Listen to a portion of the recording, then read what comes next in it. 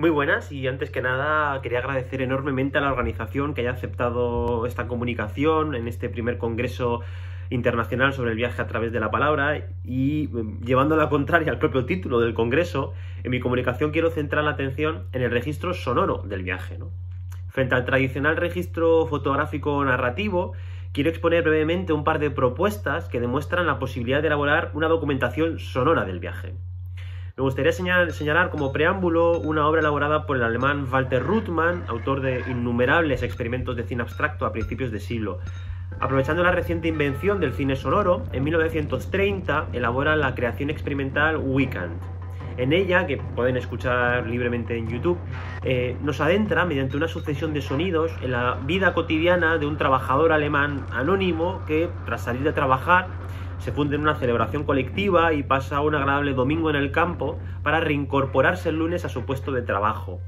En esta creación, Rudman demuestra ya la posibilidad de documentar un viaje de fin de semana utilizando solo registros sonoros, sin descripciones narrativas o, o imágenes, creando una composición inmersiva que nos permite, auditivamente por lo menos, viajar por una ciudad de 1930.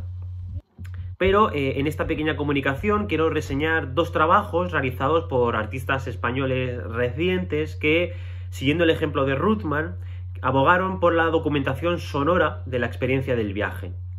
Por un lado, el escultor madrileño Juan Muñoz, eh, quien elaboró en la década de los 90 una serie de trabajos de creaciones sonoras para, la radio, A Man in a Room Gambling, Will It Be a Likeness y Wilding for Music de 1993, que es en la que quiero centrar la atención. En Building for Music, Juan Muñoz crea un falso programa radiofónico dedicado al análisis de edificios de vanguardia.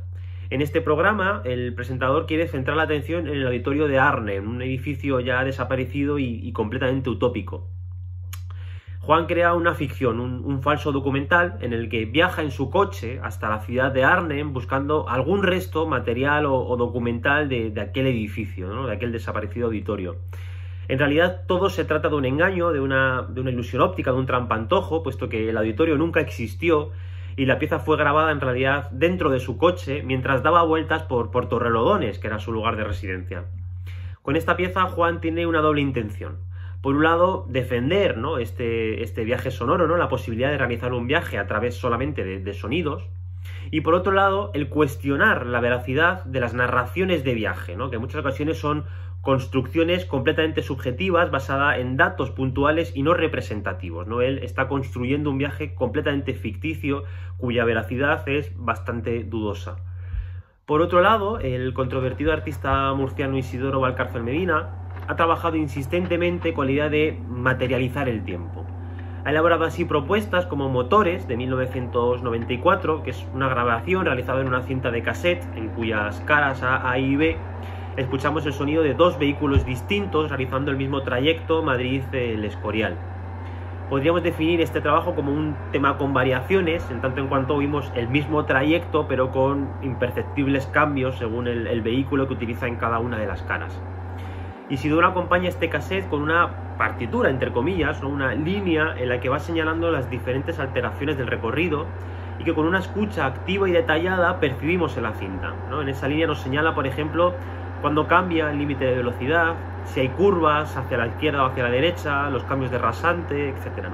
Y haciendo una escucha muy detallada nos damos cuenta de todas estas alteraciones en, la grabación, en, los sonidos. En realidad, este, este, empeño por representar visualmente el viaje es algo que, que, ha trabajado en otros proyectos Isidoro, como en Instantáneas de un viaje o en Pinturas secuenciales, ¿no? ambos proyectos en los que va dibujando los diferentes paisajes que ve a través de la ventanilla del tren. Mucho menos conocido es el trabajo Viva Madrid, que es La Corte, de 1992, grabado en la estación de Atocha y creado para ser reproducido por la megafonía de la Liverpool, Street Station de Londres. Mientras escucha de fondo el sonido del tren, el sonido del tráfico y los característicos ruidos de cualquier bar, se escuchan por encima una serie de preguntas realizadas en inglés con un marcado acento español y, viceversa, ¿no? en, español con un marcado acento inglés que casi las hace incomprensibles, ¿no? Esas voces realizan preguntas básicas como cuánto falta para llegar, eh, hay algún baño cerca o dónde está la estación de metro más cercana.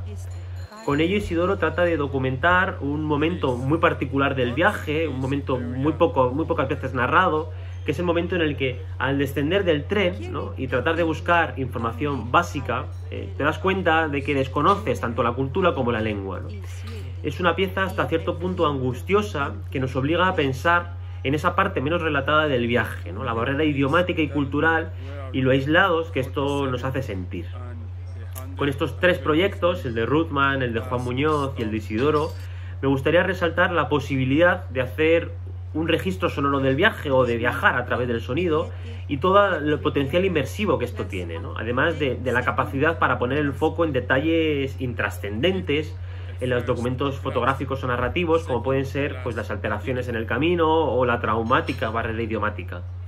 Considero por todo ello que el sonido puede y debe incorporarse como un documento más que puede completar y añadir información tanto a las descripciones fotográficas como narrativas del hecho de viajar.